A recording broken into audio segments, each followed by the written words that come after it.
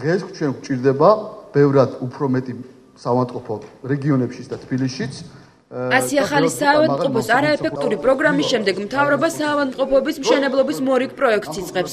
ამის შესახებ პრემიერ-მინისტრმა იაშვილის სახელობის კლინიკაში ექიმებთან შეხვედრისას განაცხადა. მიზანი არის რა? რომ მომოვალი წლის ბოლოსთვის მომოვალი წლის ბოლოსთვის კონდეს უდიდესი ნაწილი საქართველოსი მოცული რეგიონებისა და თბილისის მოცული მაღალხარისხიანი კლინიკები და საავადმყოფოები, სადაც მომსახურება იქნება უმაღლესი დონე. თბილისში რამდენიმე საავადმყოფოს რეკონსტრუქცია იგეგმება. მათ შორის რესპუბლიკური საავადმყოფოსიც, რომლის მხოლოდ წინა ფასადია კეთილმოწყობილი. თბილისში საავადმყოფოების სარემონტო სამუშაოები სახელმწიფოს ხარჯებითა და კერძო სექტორის ძალისხმევით ჩატარდება. რეგიონებში 46 ახალ საავადმყოფოს კი გილაურის თქმით ტენდერში გამარჯვებული სადაზღვეო კომპანიებია აშენებენ.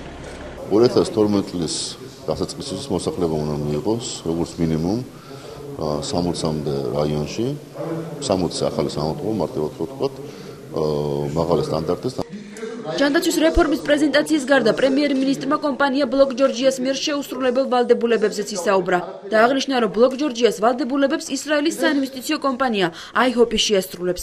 ჯანდაცვის სისტემაში შეიქმნება მედიატორის სამსახური, რომელიც სადაზღვეო კომპანიებსა და მოსახლეობას შორის წარმოშობილ დავებს მოაგვარებს. რაც ყველაზე მთავარია, მოსახლეობა იყოს გაცილებით კმაყოფილი და სამეცნიერო პერსონალიც ვიდრე ეს არის დღეს. სადაწყობო კომპანიებს დედაქალაქსა და რეგიონებში ჰოსპიტალური სექტორის განვითარებისთვის სამწლიანი კონტრაქტები გაუფორმდებათ. უკვე განსაზღვრულია საავადმყოფოების მინიმალური სტანდარტიც.